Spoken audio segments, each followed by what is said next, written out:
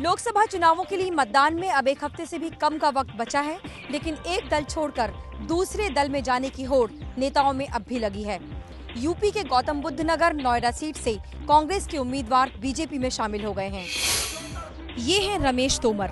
रमेश तोमर को इस बार हो रहे लोकसभा चुनाव के लिए कांग्रेस ने अपना उम्मीदवार बनाया था।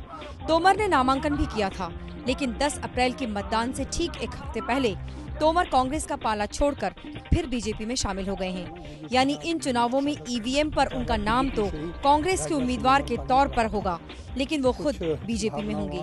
रमेश तोमर पहले बीजेपी में ही थे और गाजियाबाद सीट से चुनाव लड़ते थे, लेकिन इस बार टिकट न मिलने पर वो दो महीने पहले ही कांग्रेस में शामिल हुए थे।